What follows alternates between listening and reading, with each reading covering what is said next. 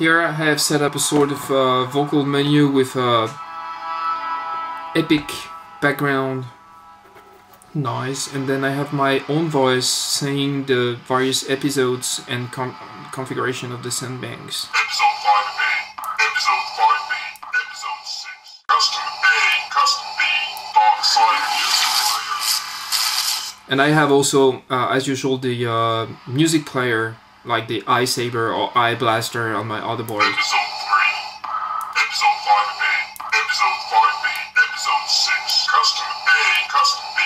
So for episode 5A and 5B, it's uh, related to your to the two sequences you can find on internet, and um, I decided to uh, enter both sequences depending on what you want.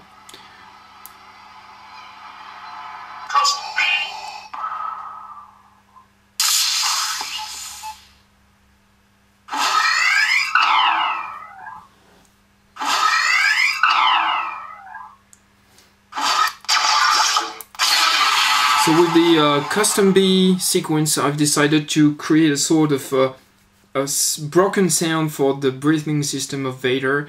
Um, that was uh, uh, suggested by my friend making the costume, so that people having a, um, a Vader re- reveal costume when he removes the helmet in Episode Six, uh, you can have the broken the broken sound as well if you if you want.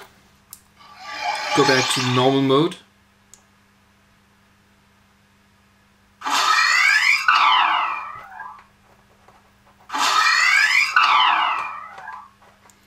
And then when I'm moving, in this case I have a chasing sequence just just for the demonstration. Then I have the music player. I go back to the menu by pressing the Player. And you have also the LEDs in this case that are indicating in which sound font you are.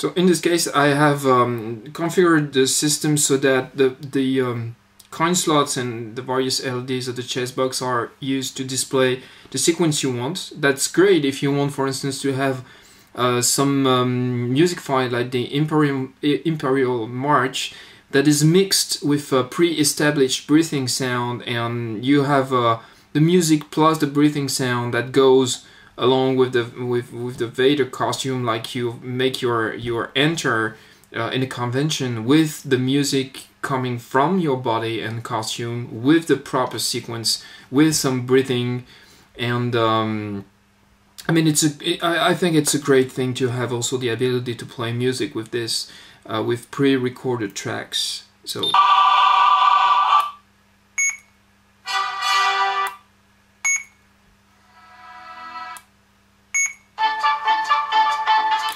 Also, the, the, the unit can be configured so that the um, coin slots and the other LEDs can be used as an audio bar graph.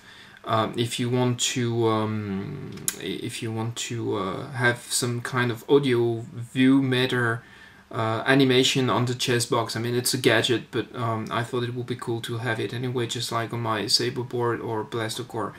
Um, I'm going to demonstrate that within a minute. I have just to change uh, one parameter in the SD card and I'll be back. So I'm back and I'm going to select the um audio player once again.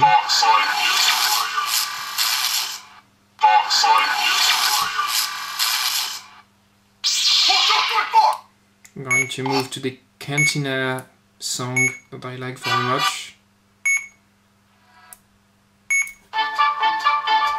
And here we go for the bar graph.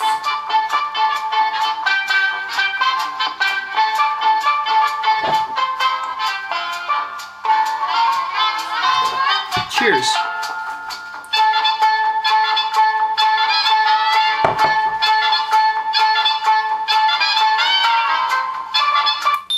Okay guys, I think that's it for today. That was a demonstration of my chestbox core and um, it will be available as a kit very soon. Um, I'm just expecting some new PCBs to be done for this new version. Uh, it's uh, still sharing the same PCB as my um, other um, multi-purpose boards like Blaster Core and um, Droid Core as well. and the kit will be provided with the motion sensor, um, probably the aux button as well. Uh, the uh, various LEDs and resistors uh, required to make uh, any version of the chestbox you want. That's uh, will be including episode 5, 6, and 3. And of course, I will be providing the um, external amp that I provide also with my voice core because this amp is absolutely great. It's um, self powered it recharges with USB and um, it has a very very long time without taking uh, much battery from um, from the board itself. So you you have finally two separate things for the power supply, and this can be recharges uh, recharged on on it, on its own. So it's it's pretty cool. I'll be provided as well, uh, just like in my other kits, uh, some wire and um, some um, heat shrink tube. And I think that's it. Okay, have fun, and um, I hope um, you you've liked this uh, video. Bye bye.